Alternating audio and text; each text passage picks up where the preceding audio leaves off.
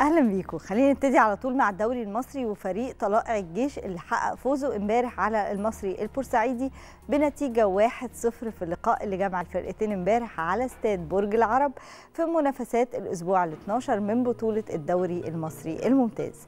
بالنتيجة دي فريق طلائع الجيش بيرفع رصيده للنقطة 13 في المركز العاشر وتجمد رصيد المصري في المركز السادس.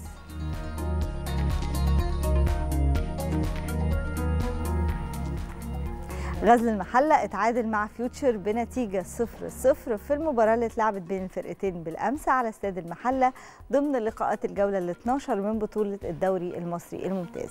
بكده بيستمر فريق غزل المحلة في المركز ال 13 برصيد 13 نقطة وفيوتشر في المركز السابع برصيد 16 نقطة.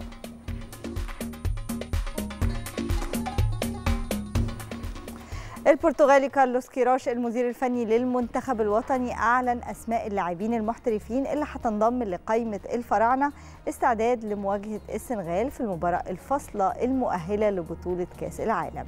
كيروش كتب على صفحته الشخصية على تويتر وقال تصفيات كأس العالم مصر والسنغال هم دول اللاعبين التسعة المقيمين في الخارج اللي تم اختيارهم للقائمة المؤقتة. كريم حافظ، محمد النني، محمد صلاح، مصطفى فتحي مصطفى محمد أحمد حسن كوكا أحمد ياسر ريان محمود تريزيجيه وعمر مرموش.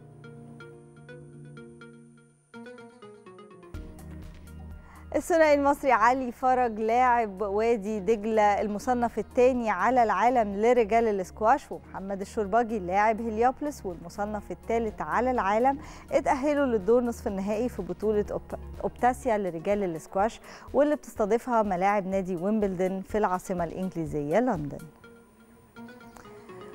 ومانشستر سيتي اتعادل مع فريق سبورتنج لشبونة بنتيجة 0-0 خلال المباراة اللي اتلعبت امبارح على استاد الاتحاد في لقاء العودة من دور ال 16 في مسابقة دوري أبطال أوروبا. بالنتيجة دي اتأهل نادي مانشستر سيتي للدور ربع النهائي في بطولة دوري أبطال أوروبا واستفاد من الخماسية القوية اللي حققها في مباراة الذهاب. وإحنا لسه مع الكرة العالمية وفريق ليون الفرنسي اللي فاز على فريق بورتو البرتغالي بنتيجة 1-0 في المباراة اللي اتلعبت امبارح على ملعب الدراجاو ضمن منافسات ذهاب دور ال 16 في بطولة الدوري الأوروبي.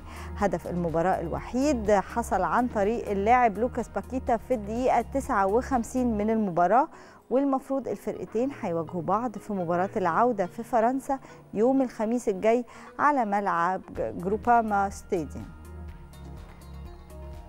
فريق ريال بيتيس خسر من فريق اينتراخت فرانكفورت الألماني بنتيجة 2-1 في المباراة اللي جمعتهم امبارح في ذهاب دور ال 16 في الدوري الأوروبي. وفريق ريال مدريد الإسباني حقق ريمونتادا تاريخية على حساب باريس سان جيرمان الفرنسي بعد ما فاز عليه بنتيجة 3-1 في القمة اللي جمعت بين الفرقتين في منافسات لقاء العودة في دور ال 16 لمسابقة دوري أبطال أوروبا. اتقدم النجم الشاب كيليان امبابي لباريس سان جيرمان في الدقيقة 39 من خلال انفراد بالمرمى عشان يسددها ببراعة. وفي الشوط الثاني رجع ريال مدريد للمباراة من خلال هاتريك للنجم الفرنسي كريم بنزيما في الدقائق 61 76 و 78 على الترتيب. وبكده أصبحت نتيجة المباراة في العودة 3-1 مجموع المباراتين لو حسبناهم هنلاقي ريال مدريد بيفوز بنتيجة 3-2 وبيتأهل للدور ربع النهائي. أخبارنا الرياضية خلصت خلينا نرجع نكمل باقي فقراتنا. في صباح الخير يا مصر مع شاذلي وهدير. اتفضل يا شاذلي.